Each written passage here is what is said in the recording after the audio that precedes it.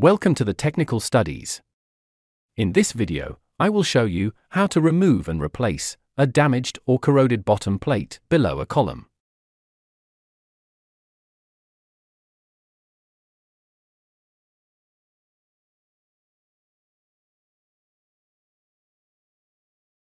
Identify the damaged plate below the column. Place the new plate near the damaged one.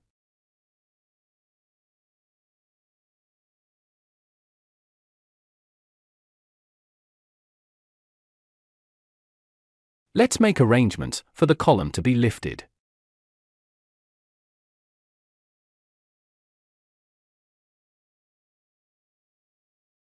You may need to choose the structural material based on the weight of the column and the roof. Here, the pipe size is 16 inches and is 40 schedule. The length of the pipe is roughly 24 meters. We used 250 into 250 H section to make the supporting part and 300 mm wide C channel for the horizontal part.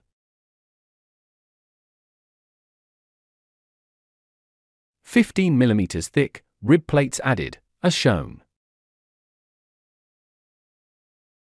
When choosing hydraulic jacks, it is important to take into account their safe capacity factor. The top side of the channel should be locked, as shown.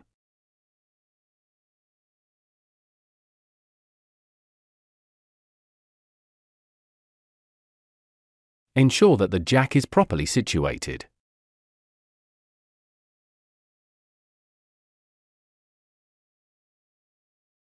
Put pressure on the jack and lift it as necessary.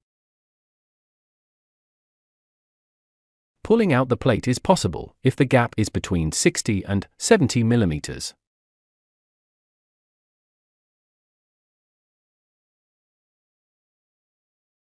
Use a method that is safe and approved to cut out the plate.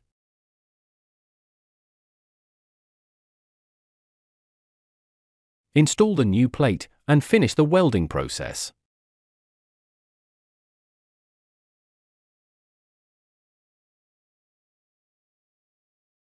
Restore the column's original position and remove the lifting mechanism.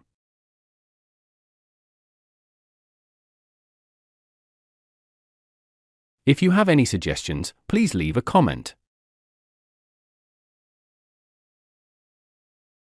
Thank you for watching.